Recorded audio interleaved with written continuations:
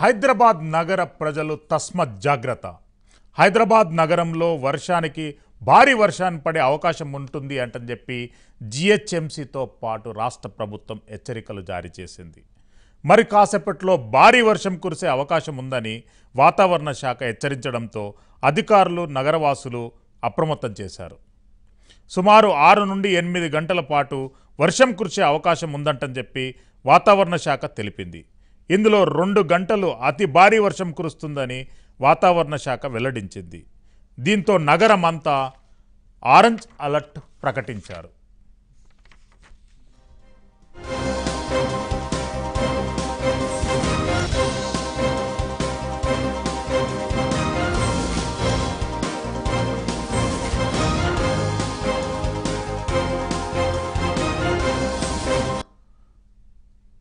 హైదరాబాద్ నగరంలో వర్షానికి అవకాశం ఉంటుందని జిహెచ్ఎంసీకి జనాలు అప్రమత్తం చేసింది.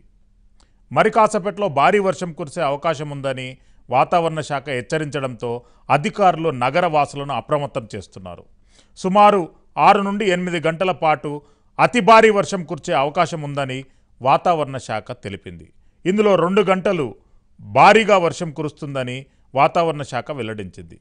దీంతో నగరమంతా ఆరెంజ్ అలర్ట్ను అధికారులు ప్రకటించారు.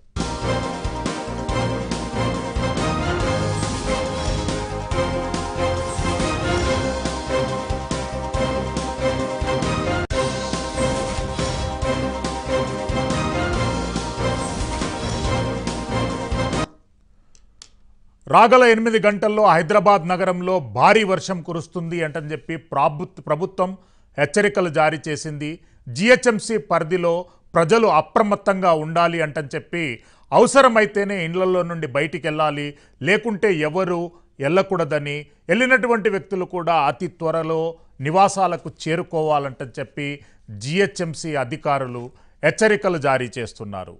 అతి భారీ వర్షాలు హైదరాబాద్ నగరాన్ని అకలాకుతలం చేసేటటువంటి అవకాశం ఉంది అంటని చెప్పి వాతావరణ శాఖ హెచ్చరికలు జారీ చేసింది. ఇదే ఇదే అంశంపై పూర్తి సమాచారం మా ప్రతినిధి రాకేష్ అందిస్తారు. ఓటు రాకేష్. మరో రెండు రోజుల పాటు కూడా తెలంగాణతో పాటు హైదరాబాద్లో ప్రత్యేకంగా కూడా భారీ వరుస సూచన ఉన్నట్టు కూడా హైదరాబాద్ వాతావరణ శాఖ హెచ్చరించింది. హెచ్చరికల నేపథ్యంలో తెలంగాణ ప్రభుత్వం కూడా అలర్ట్ అయింది. ఏవైతే అత్యధిక వర్షపాతం నమోదయ్యే పదమూడు ఉమ్మడికి సంబంధించి ఏవైతే పదమూడు జిల్లాలు ఉన్నాయో హైదరాబాద్తో పాటు మెదకు వరంగల్ అలాగే నల్గొండలో ఉన్న కొత్త జిల్లాల్లో కూడా ఈ పదమూడు జిల్లాలు ఉన్నాయి. ఇక్కడ మాత్రం అతి భారీ వర్షాలు కురిసే అవకాశం ఉన్న నేపథ్యంలో ఆయా జిల్లా కలెక్టర్లను కూడా సంబంధించి అలర్ట్ చేయడం జరిగింది. ఇప్పటికే ముఖ్యంగా హైదరాబాద్లో అయితే ఉన్న అన్ని చెరువులు కుంటలు అలాగే ఉచన్ సాగర్ కూడా పూర్తి స్థాయి నీటి మట్టానికి చేరుకోవడం జరిగింది. ఇక ఇప్పటి నుంచి పడే వర్షం అంతా కూడా ఎక్సెస్ వాటర్ గానే చెప్పుకోవచ్చు. దీంతో మొత్తం కూడా గత సంవత్సరం చూసాం ఏవైతే వరదల సమయంలో కూడా వాటర్ ఫ్లో అనేది ఎక్కువ ఉన్నా కూడా చాలా చెరువులు కూడా గండిపడడం ఆ తర్వాత లోతట్టు ప్రాంతాలైన జీలమయం జలమయం కావడం ఇళ్ళలోకి నీరు రావడం జరిగింది. ఈసారి అలాంటి పరిస్థితి రాకుండా చెరువు మరమ్మతు చేయడం జరిగింది. అయినప్పటికీ చెరువులో ఉన్న వాటర్ను పూర్తిగా నీటి మట్టానికి తగ్గించడం ద్వారా ఒకవేళ అర్ధరాత్రి సమయంలో కూడా అధిక వర్షపాతం నమోదైనా కూడా పూర్తిగా నీటి మట్టం చేరకుండా ఉండేందుకు మొత్తం కూడా చెరువులు దాదాపు సగం ఖాళీ ఉండేందుకు అధికారులు అయితే ప్రయత్నం చేస్తున్నారు అని కూడా చెప్పుకోవచ్చు. హుస్సేన్ సాగర్ కూడా పూర్తి స్థాయి నీటి మట్టానికి అంటే దాదాపు ఐదు వందల పదమూడు అడుగుల నీటి మట్టానికి చేరింది గేటు తెచ్చి నీరును కూడా కింది బయటికి పంపిస్తున్న పరిస్థితి అయితే మనకు కనబడతా ఉందని కూడా చెప్పుకోవచ్చు. జిహెచ్ఎం సంబంధించి ఇప్పటికే రెస్క్యూ టీంలన్నీ కూడా ఎక్కడికెక్కడ పనిచేస్తున్నాయి.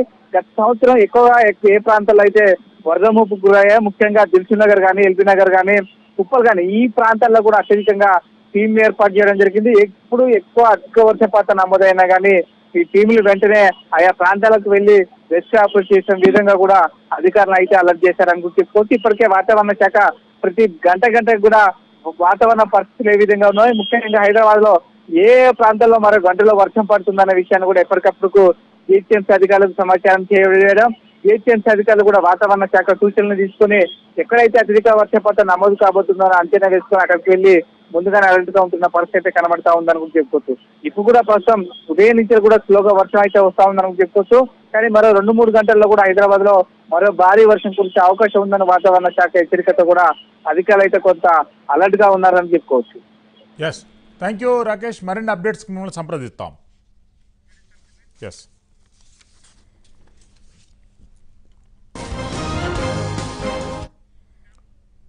వెల్కమ్ బ్యాక్ టు మా న్యూస్ స్పెషల్ డిబేట్.